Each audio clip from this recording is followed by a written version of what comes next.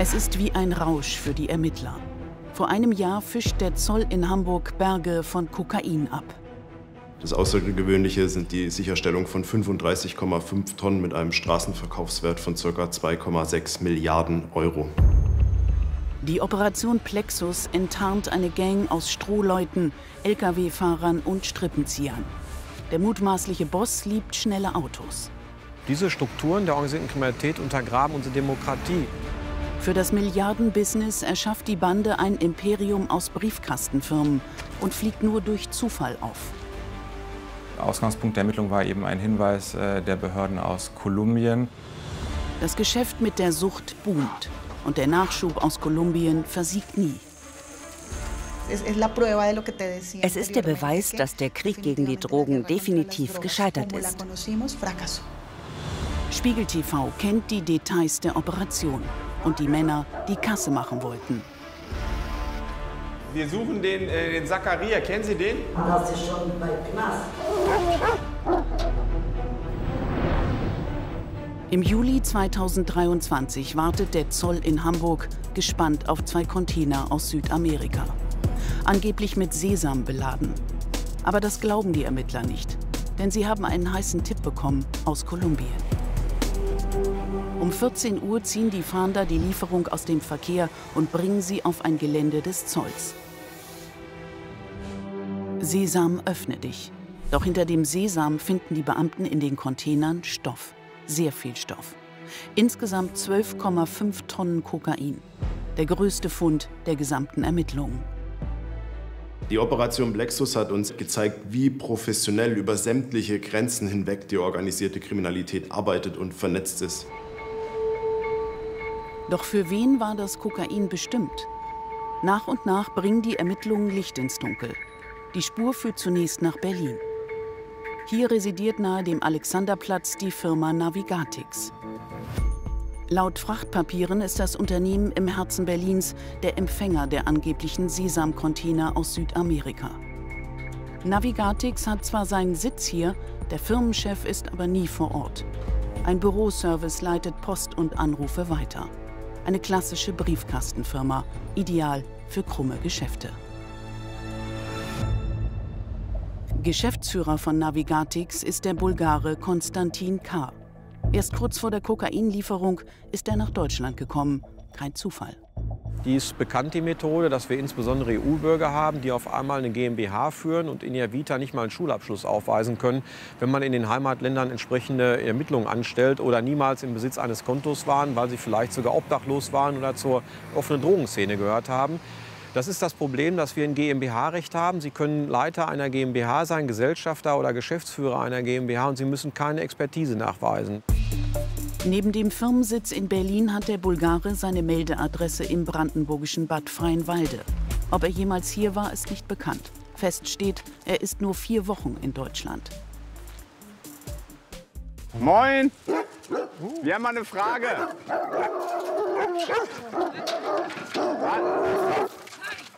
Wir haben eine Frage. Wir suchen einen Mann, der soll hier mal gewohnt haben. Äh, Konstantin Bulgare. Nee, der hat hier nicht gewohnt. Der hat sich nur hier gemeldet und war dann weg. Der hat hier nie gewohnt?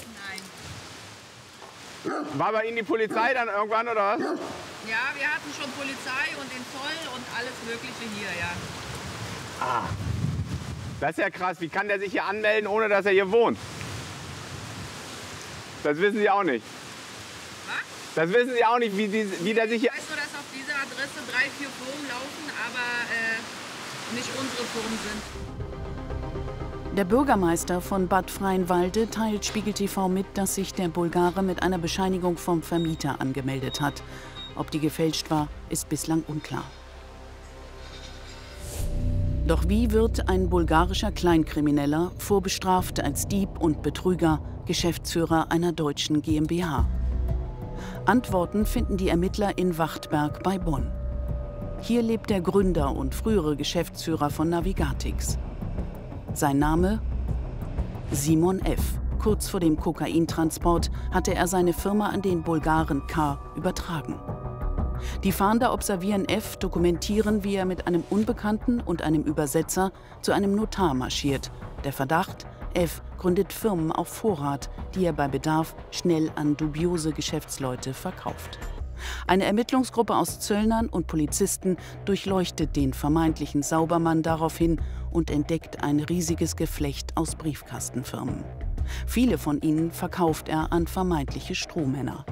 Manche dieser Firmen hatten keinen Briefkasten, andere Firmen wiederum hatten legale Warenimporte äh, aus Lateinamerika. Diese Container von den legalen Warenimporten wurden von uns teilweise noch auf dem Seeweg detektiert und ganz gezielt einer Röntgenkontrolle zugeführt, um so möglichst schnell und einfach einen Überblick über den Inhalt der Container zu erlangen. Um bei den Briefkastenfirmen eine reguläre Geschäftstätigkeit vorzutäuschen, hatten die Unternehmen offizielle Internetadressen. Einige davon wurden von einer Spedition am Kölner Stadtrand angemeldet und registriert.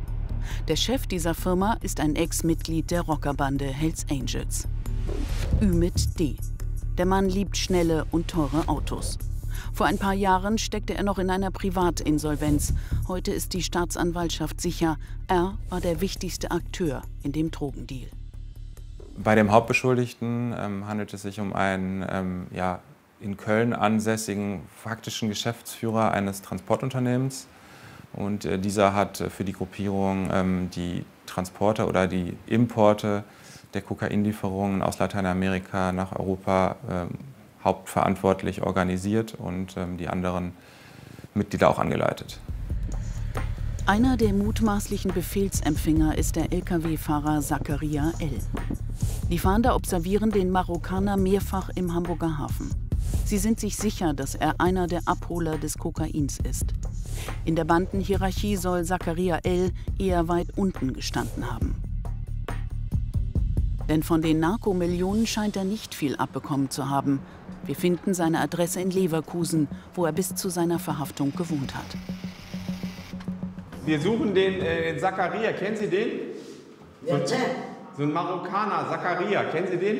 Ja, aber das ist schon bei Knast. Der ist im Knast? Ja, schon seit dem Monat vor Mai. Wissen Sie, was der gemacht hat? Was ist denn das für ein Typ? Weiß ich nichts. Wissen hier, hier ganz ruhig bei uns. Bei Ihnen ganz ruhig? Ja. Hat er viel Geld gehabt? Weiß ich nichts. Ich habe keinen Kontakt mit Leuten. Okay, alles klar. Na, haben wir jede Wohnung selbst und das ist alle. Wie groß sind die Wohnungen so? Josef hier. Wie groß sind die Wohnungen ungefähr? Ein Zimmer oder wie viel? Ein Zimmer. Die Fahnder hören irgendwann sein Handy ab. In Telefonaten spricht der Lkw-Fahrer von Extraarbeit, die er in Hamburg erledigen müsse. Für die Ermittler ein Indiz, dass er den Inhalt der Container kennt. Der Anwalt des Marokkaners sieht das anders. Es gibt in den bisherigen Aktenbestandteilen äh, Anhaltspunkte dafür, nicht nur bei meinem Mandanten, auch bei anderen, dass hier und da von einer sogenannten Extraarbeit gesprochen wird. Nur Extraarbeit, das könnte auch so etwas sein wie Schwarzarbeit, nämlich dass man eine zusätzliche Fahrt macht und die vielleicht am Lohnsteuerscheck vorbei so bezahlt bekommt. So, so kann man das auch bewerten. Kokain ist ein Geschäft ohne Krise. Die Nachfrage kennt nur eine Richtung, nach oben.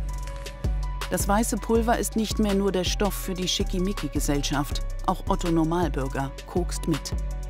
Wir haben Forschungen in Europa, Dunkelfeldforschung. Das heißt, es werden Bürgerinnen und Bürger in Europa gefragt, wann sie das letzte Mal Kokain konsumiert haben und wie viel und in welchen Zeiträumen. Das nennt man sogenannte Prävalenzforschung. Man stellt einfach fest, dass viel mehr Leute Kokain konsumieren. Europa ist also ein attraktiver Markt.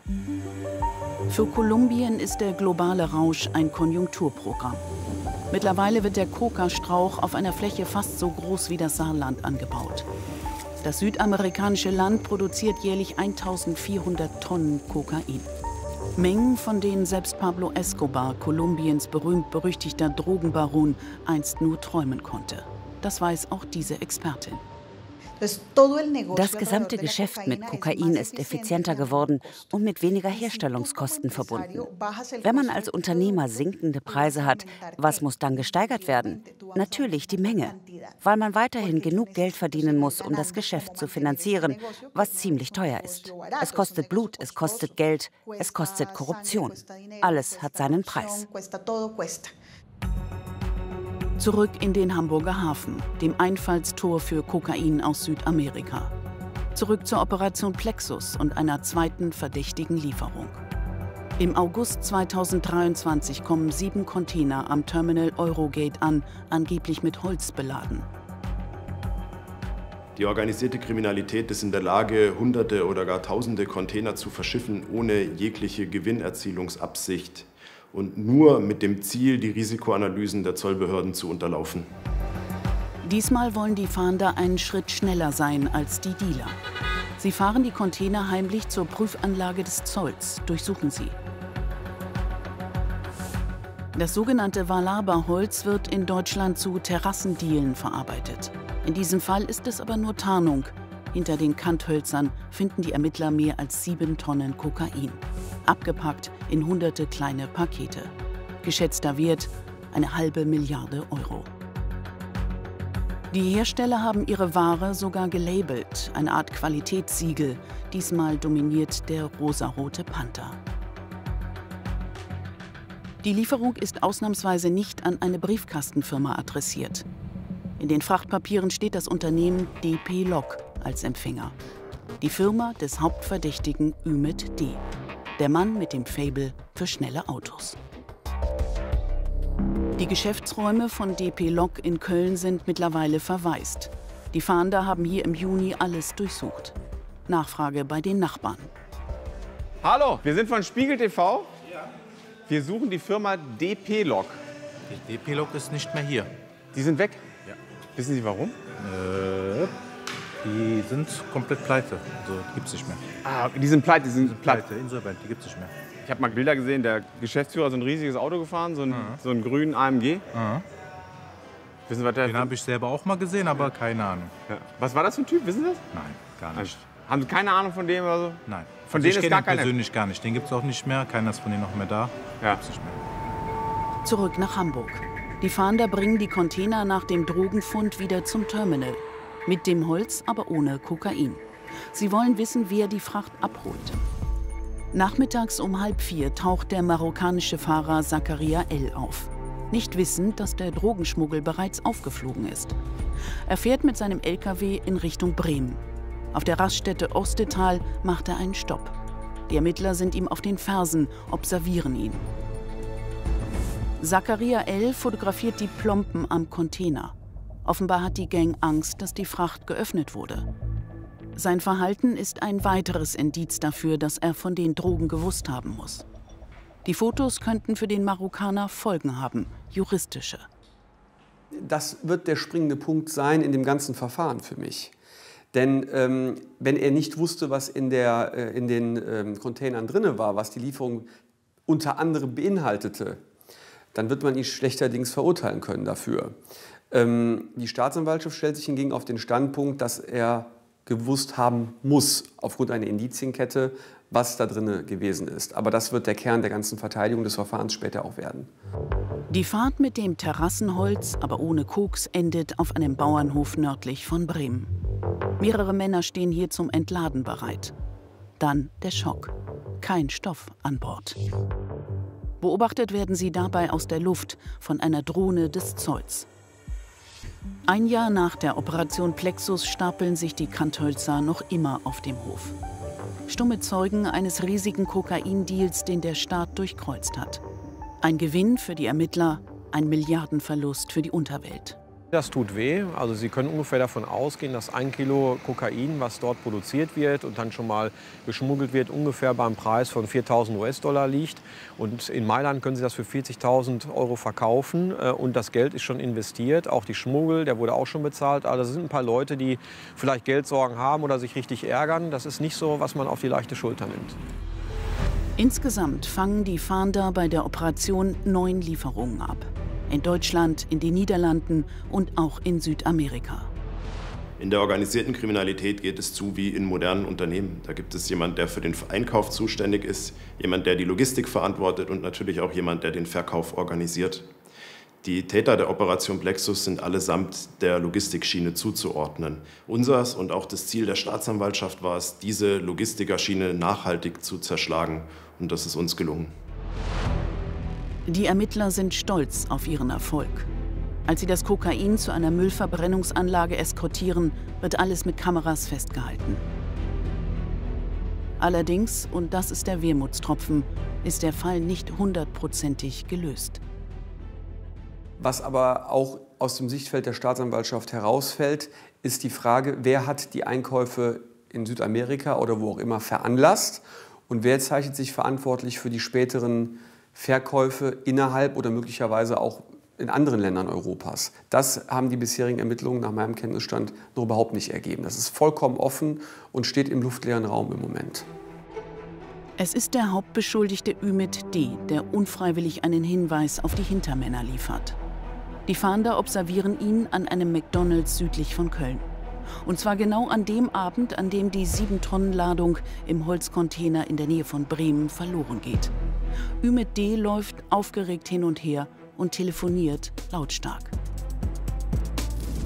Später trifft er sich in dem Fastfood-Restaurant mit einem Schwerverbrecher, Hami S., auch ein ehemaliger Hells Angel mit besten Connections in die Türkei. Mittlerweile sitzt er wegen Mordes im Knast. Das Urteil ist noch nicht rechtskräftig. Weitere Indizien liefert das riesige Geflecht aus Briefkastenfirmen. Erschaffen von Simon F., Mehrere Unternehmen erhielten hohe Geldzahlungen von Bankkonten aus der Türkei. Im Laufe der Ermittlungen haben sich Hinweise ergeben, äh, dass die Gruppierung möglicherweise für Hinterleute in der Türkei agiert haben könnte. Das ist derzeit Gegenstand der laufenden Ermittlungen, genauso wie wir natürlich versuchen, ähm, die Endabnehmer der Lieferungen zu ermitteln. Der Fahndungserfolg hat auf den Kokainpreis übrigens keine Auswirkung. Er bleibt stabil, trotz 35 Tonnen weniger Ware. Es gibt nach wie vor reichlich Stoff für die Nasen in Europa.